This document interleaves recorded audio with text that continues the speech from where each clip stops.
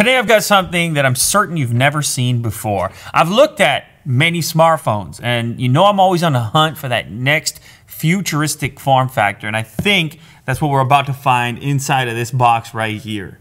Now, first glance, you get the lid off and you think to yourself, that's just a standard smartphone. Then you start playing with the packaging and you notice something is a little bit different. And when you pull the phone out, that's when things go to the next level. Boom, there it is, my friends. This is the LG Wing. In a sea of the same basic bar type design phones, this is something truly unique. The swivel action feels mechanically solid. That's smooth. Goes without saying that when you pop this baby open, you're going to turn some heads. But more than that, this swivel design changes the functionality of the phone itself. Starting with the home screen that's been completely redesigned. Swivel mode also gives you a nice balanced grip. But really, this design is perfect for people who like to watch a lot of video on their phone like I do. Like when you're watching a video on your phone and you touch the screen by accident, the controls pop up, or when you get a text or call right at the most crucial scene. No more! The different grip means nothing interferes with the main screen, and the grip lock button prevents accidental touches on the second screen. Another problem this dual screen setup solves is when you're using your phone for GPS and then you get a call.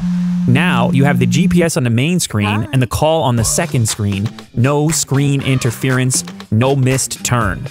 The main screen for your main task and the second screen for your calls, messages, and notifications. It's simple and hassle free.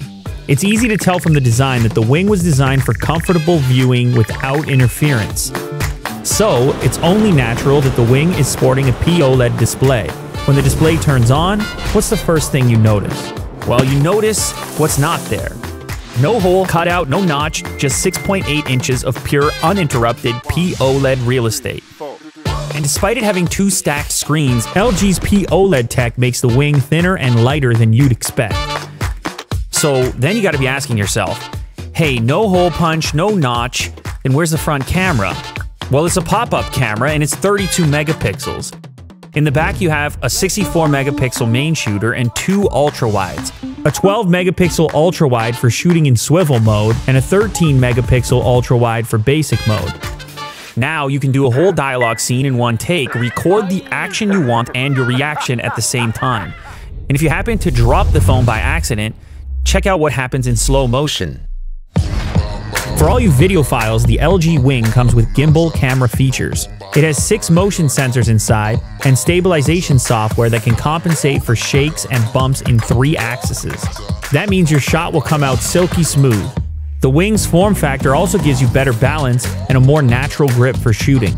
And just like the gimbal cameras you're familiar with, you have the joystick on screen to tilt and pan the camera manually, and also the four gimbal shooting modes follow, pan follow, FPV, and lock mode.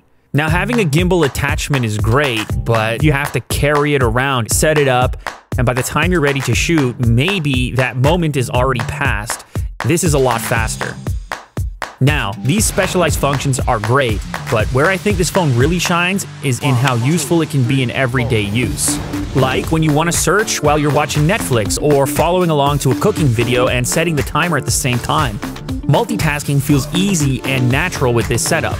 Look how many different things you can do. And if you have a favorite combination of apps you always use together, you can pair them on the second screen to let you open them with one touch.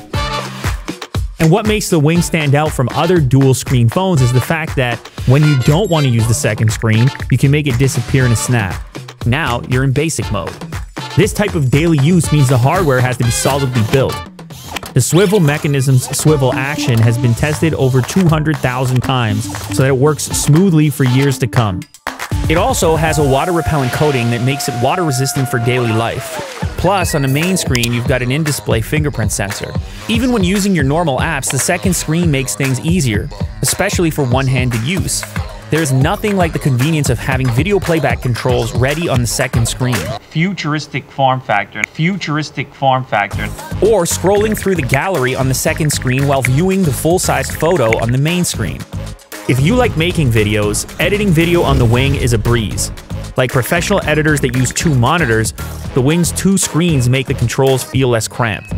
With all these great features, you don't want your data speed lagging behind. That's why the Wing is 5G enabled, and it's got enough battery power to last you all day.